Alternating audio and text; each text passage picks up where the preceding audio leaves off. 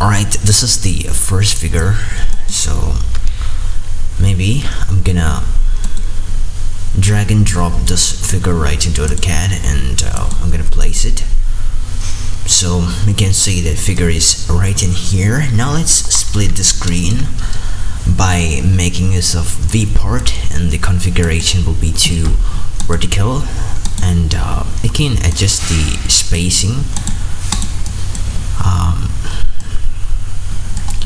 right? I don't want to see any of this so control 0 for maximizing the screen.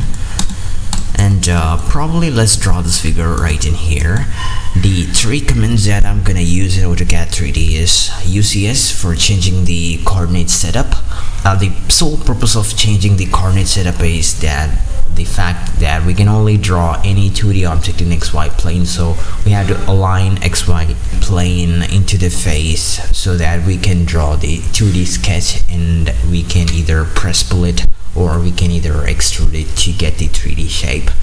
So the simple case to move the camera around the figure is you can either make use of this cube can be obtained by using cube command or you can make use of holding shift and uh, middle mouse button scroll wheel for orbiting.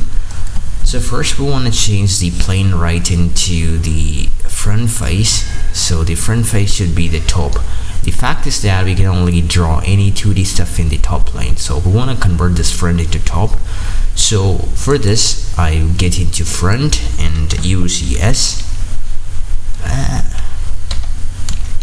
UCS then we have an option called view. So the face will be the top plane we don't want to care the figure right now.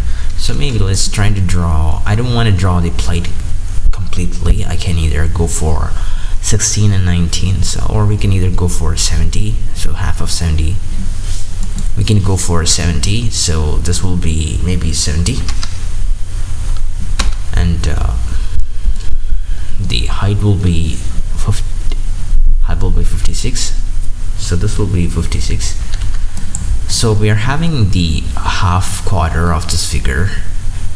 And uh, let's have the circle with I don't know the circle then we're going for two point the point will be right here right at the intersection of these two lines so maybe yeah picking the first point now we're going drawing this circle here. So the diameter is 40 40 so that's a circle here. Now let's go for the bigger circle with radius 35 circle.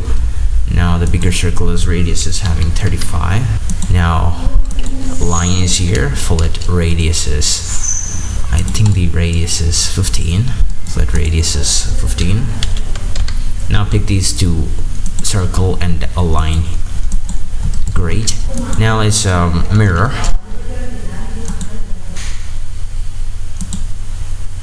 Great. I'm gonna trim this. Now let's go for a press pull. Press pull click inside and the dip goes 30 30 alright that's it. Um, now let's draw this part object here. So the simple case for drawing is let's align the plane right in here. So I can go for UCS and uh, the point from here will be a distance of 35 so I can go for tracking.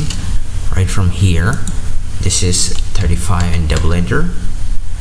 And uh, this one will be X and uh, this one will be Y so literally we have changed the UCS now the length of the line will be one is 40 here and the height of that line will be uh, 45 so horizontally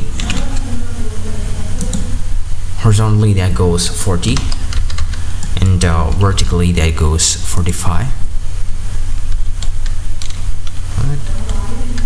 45 alright now we're having circles two circles are here. The one is having the diameter the the inner circle is having diameter of 10 and the outer circle is having the radius of 10 so first let's draw the outer circle using two points. The first point will be here and the second point will be the radius is 10 so the diameter will be 20 and uh, let's go on another circle.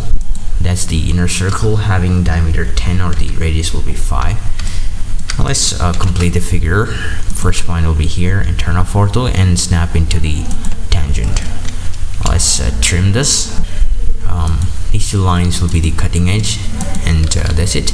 Now let's uh, try to press split. Uh, thickness goes in 15 right. Now let's select this object and uh, let's mirror this. And uh, you know right now the point is not obtained so we can go for UCS and uh, let's, let's try to pick the face.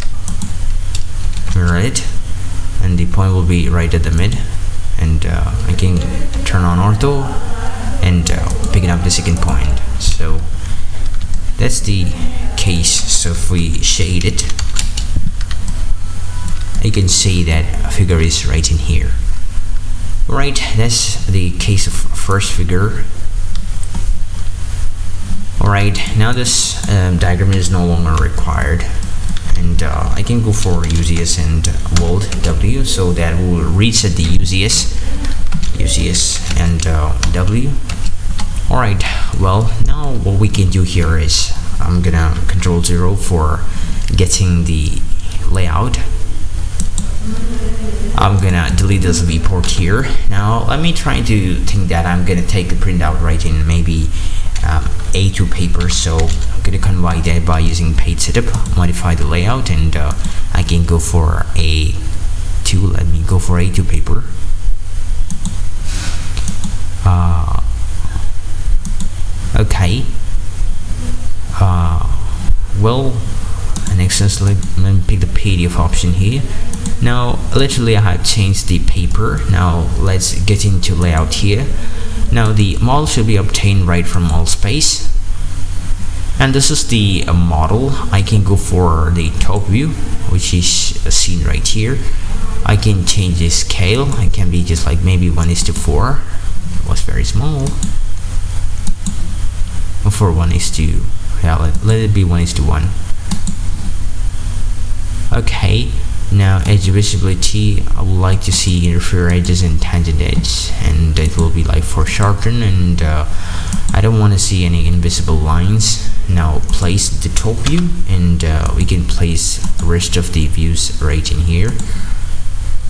And uh, I can have one more an isometric view so that's the case. Anytime it's possible to dimension this figure I can go for radius dimension and uh, yeah well I like to change the size. You can go for dimension style manager and uh, you can increase the scale. Maybe I think I can go for 3 yep. Now let's increase the 140 and uh, this one can be 56 and uh, I can go for the radius right here 15 and uh, this already 20 now for this we're having 35 uh, well now uh, linear dimension and I'd like to see the distance of these two points here. Okay now right from here to here. Okay. How about here? Dimension and uh, going for here uh, maybe that's not the case what I want. I can I like have some internal points here 40 and uh, maybe this distance oh that's not required.